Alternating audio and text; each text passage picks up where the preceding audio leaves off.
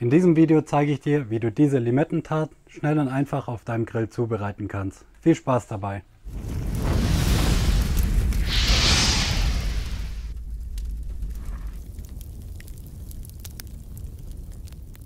Für die Limettentat brauchen wir einen Boden. Für den Boden habe ich hier Butterkekse, schon mal ein bisschen klein gemixt. Dann braucht man da noch Butter dazu, die kommt hier einfach rein später. Dann brauche ich so gezuckerte Kondensmilch, die so ein bisschen dickflüssiger.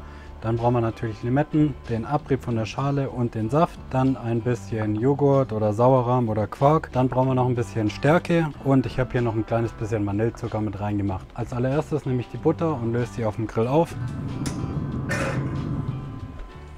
In der Zeit, wo die Butter schmilzt, nehme ich mir die Kondensmilch, gebe die hier in eine Schüssel, gebe hier dann meinen Joghurt dazu, gebe ebenfalls die Stärke in den Vanillezucker dazu, verrühre das Ganze dann schon mal gut. So sieht die Masse jetzt aus. Jetzt brauche ich nur noch den Limettenabrieb und den Saft. Dafür nehme ich mir einfach eine Microblade und reibe das hier rein.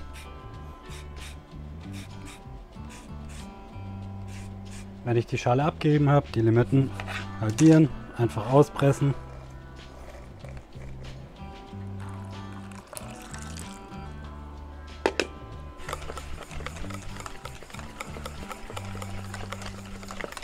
So sieht die fertige Masse jetzt aus. Jetzt muss ich nur noch den Boden fertig machen. Wenn die Butter dann aufgelöst ist, dann gebe ich die zu den Keksen dazu. Verrühre das Ganze dann gut wenn man die Butter und die Kekse dann gut verrührt hat, dann nimmt man seine Form. Ich habe hier so eine Terrinenform. Gibt die Masse dann da rein.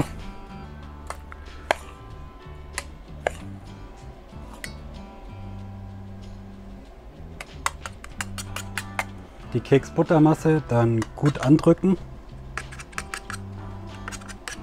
Das gebe ich jetzt so für 20 Minuten in den Kühlschrank, damit es ein bisschen fest wird und dann machen wir weiter. Ich habe die Form jetzt wieder aus dem Kühlschrank rausgenommen, nehme mir meine Creme und fülle die hier in die Form ein.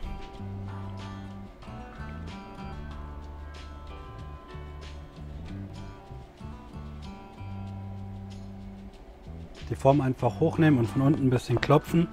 Dann verteilt sich das Ganze recht gleichmäßig. Oder man nimmt die ganze Form und klopft sie einfach so aufs Brett.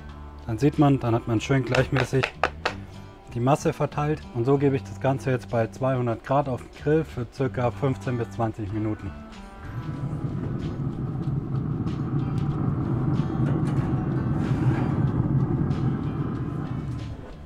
So 20, 25 Minuten sind jetzt um. Ich schaue mir das Ganze jetzt mal an. Es sieht gut aus und ich werde die Tat jetzt so runternehmen.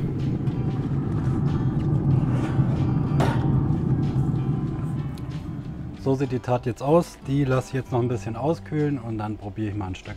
Ich habe die Limettentat jetzt über Nacht auskühlen lassen. Sie sieht eigentlich gut aus, finde ich. Ich fand mit dem Boden, das war die richtige Entscheidung, weil sonst wäre das ja fast doppelt so groß gewesen. Aber ich schneide die Tat jetzt mal an und dann probieren wir mal ein Stück.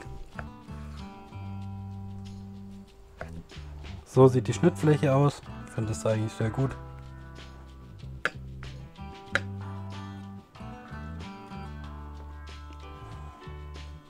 Ich habe einen schönen kräftigen Limettengeschmack.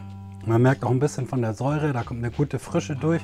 Ich dachte vielleicht mit dieser Kondensmilch, dass das nicht ganz so toll ist, aber es ist ein super Rezept und ist auch recht einfach umzusetzen, finde ich.